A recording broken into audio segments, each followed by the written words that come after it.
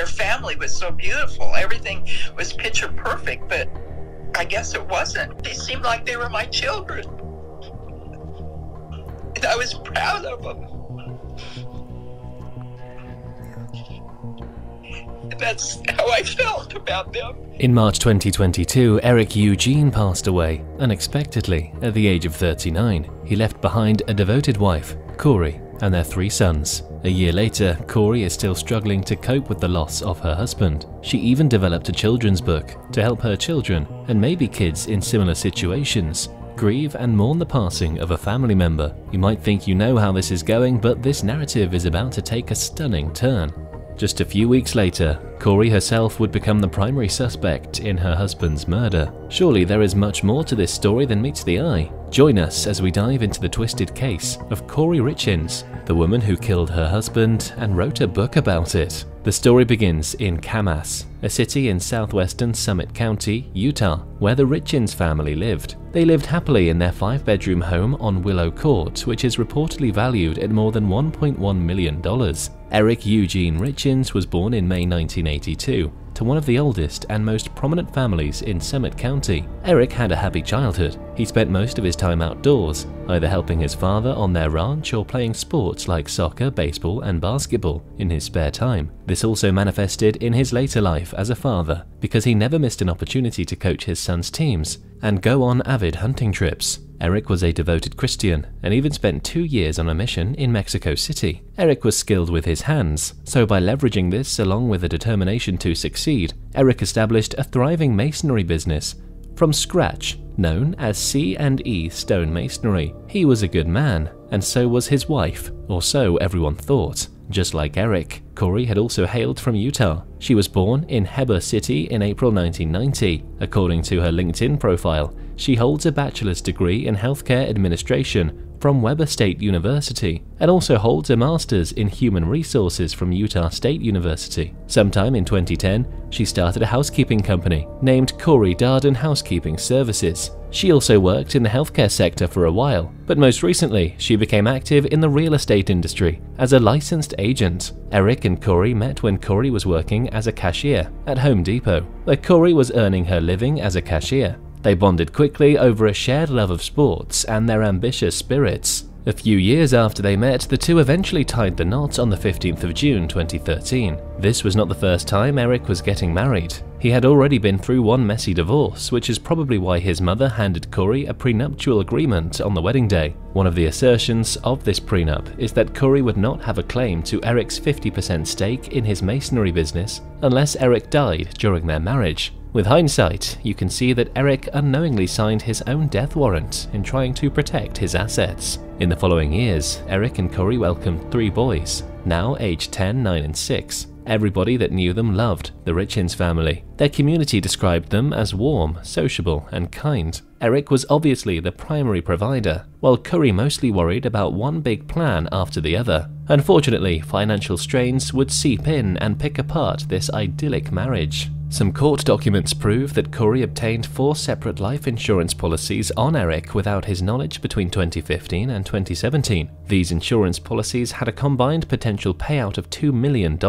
By September 2020, Eric discovered that Kouri had somehow obtained and spent a $250,000 home equity line of credit on their Kamas home without his knowledge. That was not all. Eric also found that she had withdrawn at least $100,000 from his bank accounts and racked up more than $30,000 in charges on his credit cards. Additionally, Kouri misappropriated over $100,000 from Eric's business funds set aside for tax payments. As you can imagine, this was a lot for Eric to take. All of a sudden, he saw Kouri differently, as a woman he could no longer trust. When confronted about the stolen money, Kouri only said that she planned to reimburse him. The following month, Eric reached out to divorce and estate planning attorneys for advice. By November, Eric set in motion a new asset protection strategy, which appointed his sister, Katie Richins Benson, as trustee and excluded Kouri from assigning his estate to a living trust without her knowledge. In addition, these aggressive moves were seemingly designed to protect the children's financial futures.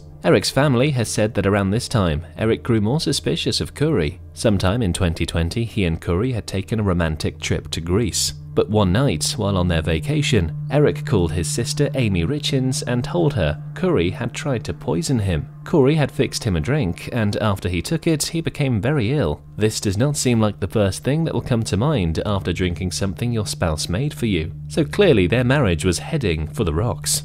Maybe Kouri had already been exhibiting some other strange behaviors aside from the theft that he may have picked up on, but whatever reason, Eric was now alarmed.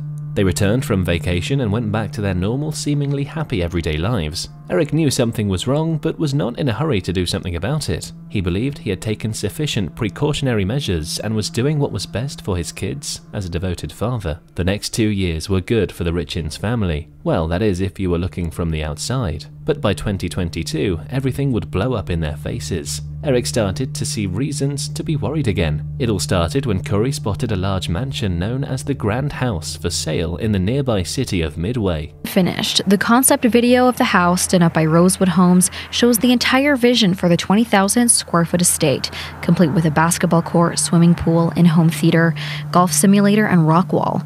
I spoke with Utah realtor Brian Kelly to get an insider's look on how all this controversy might affect the future. Kouri desperately wanted to purchase the home because she believed she could flip it for an insane profit. Eric felt like the $2 million mansion was not only too expensive but also too much of a risk. As you can imagine, this caused a rift between the two again. That same year, Eric's business partner and co-founder of C&E Masonry, Cody Wright, got a notification from their insurance company informing him that Kouri had signed into their account and made herself the sole beneficiary on Eric's policy. Cody told Eric about the change, and they were able to switch it back to the original terms. Adjusting a spouse's life insurance policy is a big and bright red flag. But in this case, Eric chose not to confront Kouri about any of this. Instead, he resolved to get a divorce and work out a way to do it peacefully for his children's benefit. Meanwhile, Kouri was making plans of her own. She had acquired about 15 to 30 pills of fentanyl and made a sinister plan for Valentine's Day. That February 14th in 2022, Kouri prepared dinner for her and Eric to eat together and also fixed him a sandwich afterward. Eric later told Cody that he felt very ill that night. He broke out into hives and even felt breathless. At this point, Eric told his sisters that if anything ever happened to him, Kouri was to blame. On one hand, Eric must have been shielding his sons from a messy divorce, and on the other, we imagine that it must have been hard to mentally accept that his wife was actively trying to kill him. Two weeks later, Kouri acquired another batch of drugs for her next attempt on Eric's life. Meanwhile, Eric thought that he was keeping Kouri at bay by making her believe he would purchase the grand house. He had told his family that he would shock Kouri with the news in due time, but unfortunately, Eric would be declared dead in a couple of days. The police arrive at Richin's home in the early hours of March 4th. Kouri reported that she and Eric had been celebrating together on the night of March 3rd for closing on a big estate. But the truth is that at around 9pm she went to the kitchen and made him a Moscow Mule, a cocktail that would be Eric's last. Going back to her testimony, Kouri had said they both went to bed, but then one of their sons had woken up from a night terror, and like any good mother would, she went to lay with him in his bed till he slept again. She said she also slept off until around 3am when she woke up and returned to her room. Getting there, she met Eric lying still and cold to the touch. She called 911 and told the operator that she had been attempting CPR. The paramedics arrived and reported that Eric was on the floor near to the foot of the bed. Their initial reports also debunked Kouri's claims of attempting CPR on Eric. Apparently, Eric had blood coming from his mouth, and there did not seem to be any blood on Kouri. After all possible life-saving measures were attempted, Eric was pronounced dead. Due to his age, Eric's death was deemed suspicious and an investigation kicked off. It was discovered that there was five times the fatal amount of street fentanyl in Eric's system. Kouri was asked if Eric had an issue with drugs, and she reported that he had struggled with an addiction for pain medication in high school, but she was unaware of any recent drug use. His family refuted this claim and stood on their conviction based on all Eric had told them. The day after Eric died, Kouri had gathered some people at their home and was reportedly drinking and celebrating that they had finally closed on the grand house. This is a woman who had just lost her husband. Rather than grieving, she was busy celebrating. Eric's sister Katie was apparently at the gathering and had a fight with Kouri because of it. At some point during this altercation, Katie finally told Kouri that Eric had replaced her as his beneficiary. Kouri reportedly lost it and physically assaulted Katie in anger. Kouri had no intention of accepting defeat. She filed a claim against her husband and his sister with reports that Eric had defrauded her, as he had no right to transfer her shares of his assets, as outlined in the prenup, without her knowledge. Not only was she suing for the claims to Eric's estate, she was also suing his sister Katie for an additional $300,000. By June 2022, Katie countersued Kouri and cited the investigation into the suspicious circumstances of her brother's death. Notably, Eric's family decided to remain quiet during this crucial time of the police investigation because they did not want to do anything that could affect getting justice for Eric. So Eric's family had their plans, but Kouri also had hers. During this time, she made conscious steps to come off as an innocent and grieving wife. At some point during the investigation, the authorities asked to download the contents of Kouri's phone. This would shed some much needed light on the murder case. Going back to that night of his death, Kouri had told investigators that she had left her phone plugged in at their bedside. This meant that she did not have her phone on her when she went into the other room to help their son go back to sleep. This did not seem like anything at the time, but now her phone records told a different and more incriminating story. Apparently, there was quite a significant level of activity on her phone within that time period that night. The records show a movement of her phone, a conversation with someone, and a deleted text message within the time that she claimed to have been sleeping next to her son. Deleted text messages have since been recovered that prove Kouri communicated with a dealer and had purchased the exact kind of drugs that had killed her husband. This dealer goes by the alias CL and has been interviewed by the police.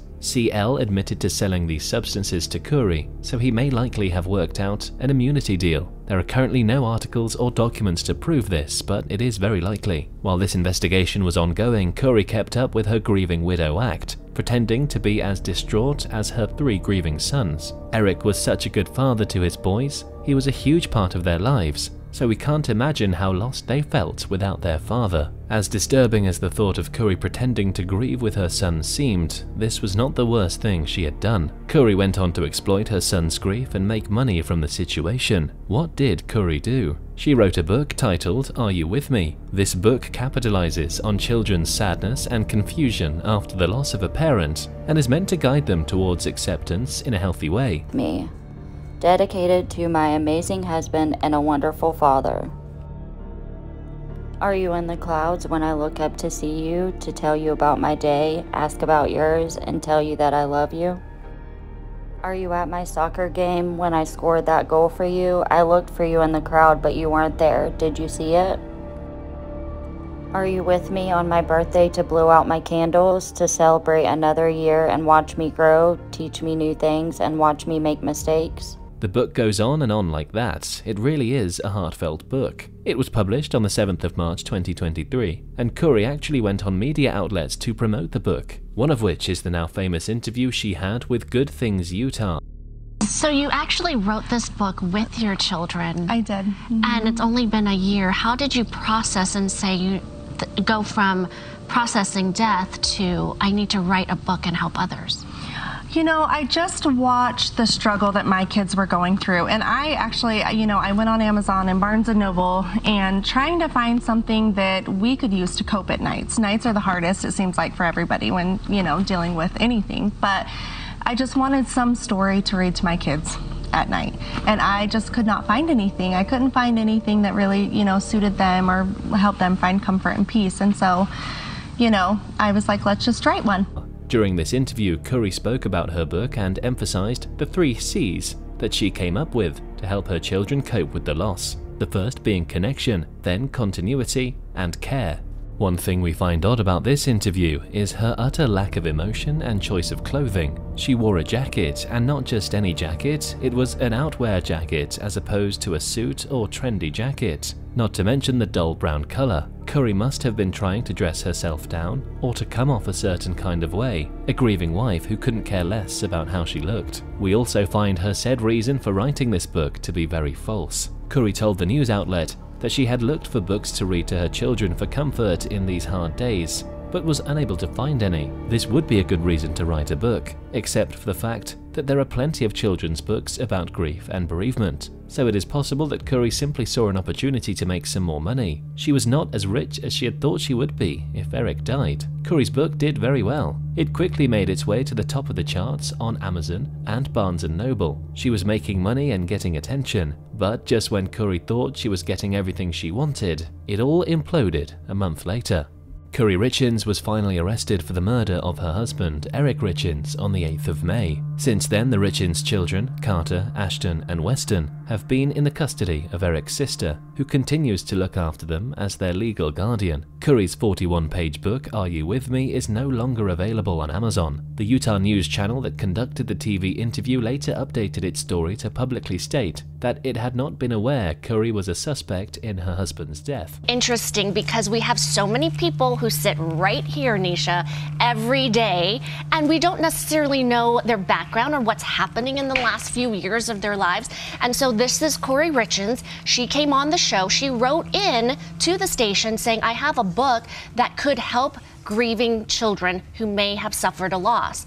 So we brought her on and she talked about her her her husband who passed away and all she said was he died suddenly unexpectedly and it was a shock the hosts who interviewed Kouri that day admitted having a private discussion with Kouri after the interview. Kouri had told them off camera that Eric got COVID and eventually died of a lung complication. They also spoke about their perception of Kouri in the short time they spent with her that day. One of the hosts pointed out that she did not particularly pick up any negative vibes from Kouri, but she found the way she seemingly grieved her husband's loss a bit odd. You look back after the fact, you're like, huh, well, I wonder if that was uh, interesting. And she didn't show emotion, right? We have so many people who grieve in different ways, they process differently, and who are we to say that's Uh, the wrong way to process, right? SDI, some people come in a little more prepared for it and they can power through and be composed. I did clock that, that she wasn't necessarily emotional, but I, again, I thought, okay, well, it's been a year. Maybe she's just prepared to speak about it. And I did think that it was an interesting uh, choice what she wore on the air. She was all bundled up in her jacket. Her hair wasn't quite brushed. And I thought, she's still going through it. She's grieving. She's not quite together. So it's expressing it in maybe that way. She's not quite pulled together. Kouri appeared in court on the 12th of June for her bail hearing. During the hearing, a lot of circumstantial and direct evidence came to light. And as a result of these revelations, Kouri was denied bail. At this point, we could not help but ponder on a few things. Why did it take a full year before charges were finally brought against Kouri Richins? Will the direct evidence be strong enough to result in a conviction? How much of the circumstantial evidence can be actually proven? And of course, what could Kouri's defense possibly be? Eric Richins truly seemed like an amazing person who loved his family and did everything he could to bring happiness to those around him. It is heartbreaking what has happened to the Richins family. As for Kouri, we did not understand how people still think they can do things like this and get away with it. Nothing is really private anymore, as in this day and age, everything on your phone is saved. She probably did not know this, but still we think it was selfish and unnecessary for her to risk it all and cause so much hurt to her children. As the case progresses, we believe we will get these answers and maybe have some more insight into Kouri's motives for murder. And above all, we hope that justice will be served in due time.